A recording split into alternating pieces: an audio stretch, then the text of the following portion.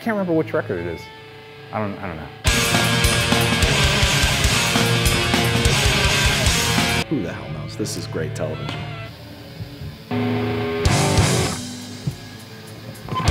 Uh, man, I don't know. Um,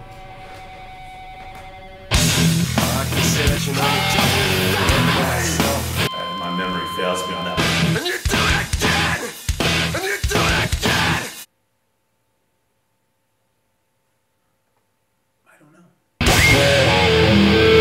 With that guy, we have some shirts for sale.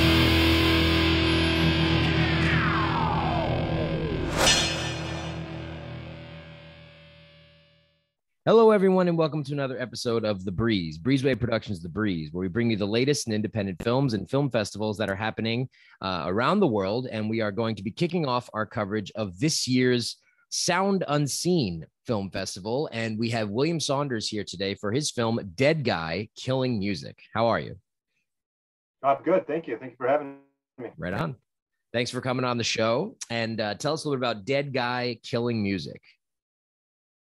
Uh, Deadguy Killing Music is an authorized documentary about the short lived and chaotic career of New Jersey's most dangerous band, Deadguy. They, uh, they were a mid 90s hardcore metal, some people now call them metalcore band, um, that had very short lived career and one notorious split in the band after an equally notorious record that they recorded, Fixation on a Coworker. Right on. How did you get involved with this subject matter? Have you uh, been with the band and toured with them, like in Jersey? Have you been to a lot of their shows, or how did that come about? Uh, no, I'm actually from Michigan, and I never got to see originally. I live in Brooklyn, New York now, but uh, I never got to see them. I only heard, you know, I only had their records from from buying them. Um, the documentary came about. I had I work in television. I'm a producer and editor, and uh, Dave and I had the drummer Dave Rosenberg had, and I had come together on a project.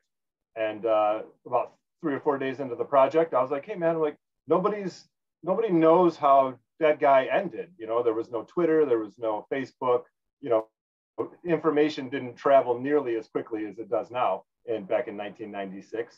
Um, and he said, "Yeah, sure." You know, he, he's like, "Does anybody care?" And I'm like, "Yeah, yeah, people care, definitely." You know. Um, so I came back to New York. That was in Amsterdam. We had that shoot.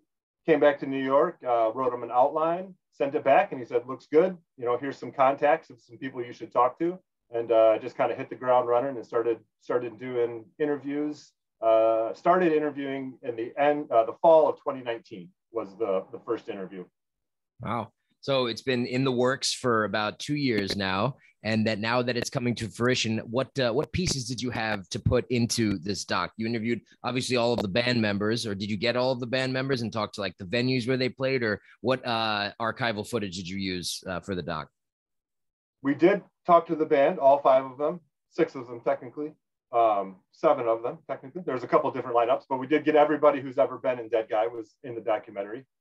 Uh, and then we just kind of, uh, like I said, we started shooting in 2019. Obviously, the end of 2019 and the beginning of 2020, the whole world changed. So we ended up switching gears to Zoom interviews, which um, ended up being really effective in filling out the story. Um, I was able to just kind of email people out of the blue and say, "Hey, do you want? I heard you like Deadguy. Would you like to interview for the documentary?" And they would be like, "Yeah, I'm literally doing nothing. How about Tuesday?" You know, I'd be like, "All right." So we filled it out with kind of as many people as we could find, and as we would interview people, they would also say, "You need to talk to this guy. You need to talk to this guy." So we would just track them down.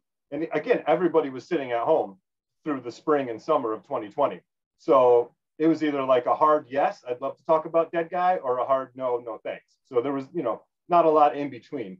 Sure. Uh, and then we just we ended up shooting, I think, 33 Zoom interviews Wow. over the course of uh, about six months. Yeah, it was.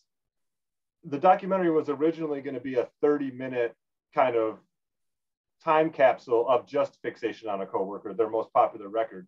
Um, but as we got into these interviews, the story really expanded. You know, one person would tell a story, and then I would talk to somebody a couple of days later, and they're like, "Oh, I have footage of that show that that person's talking about." So I'll be Mhm. like, oh, awesome. So that, you know, then that became like a little chunk of the story. And then eventually it just filled, it, it all filled right out. It's a, it's a career spanning uh, documentary. Nice. So uh, when they were really rocking in their in their heyday, so to say, in the '90s, uh, there wasn't any, you know, Spotify or Amazon Music or anything like that. That was like Tower Records style. Um, so did they have like really good uh, CD sales and vinyl sales and things like that? And then that's how they started building their base, and people went to their shows in person, stuff like that. Um, yeah, kind of. They, they started in, in the East Coast uh, hardcore scene. They're from New Brunswick, New Jersey, and they would play up and down the East Coast. And they really did get a, a ground game of support. But then uh, they got signed to Victory Records, which really ended up kind of propelling them into the mainstream, I guess, you know, mainstream hardcore scene, not the mainstream, mainstream scene. Uh, but that got them a lot of play on college radio, and it really started to build them a lot of momentum. Um, but then shortly after they were, they had split in two, and then shortly after they split into two bands, they broke up completely.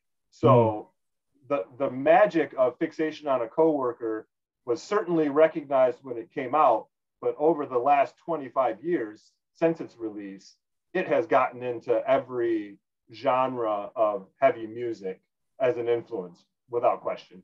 Yeah.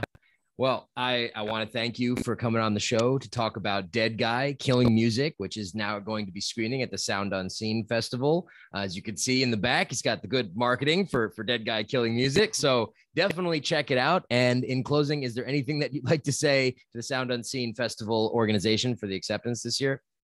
Uh, no, just thanks to Jim and Rich. They were uh, super accommodating. I was, I, they were so super nice. They were, they've been watching this documentary and waiting for its release for a while. So I appreciate their um, efforts in in getting it into Sound Unseen. It was a great festival, and uh, yeah, I look forward to working with them in the future.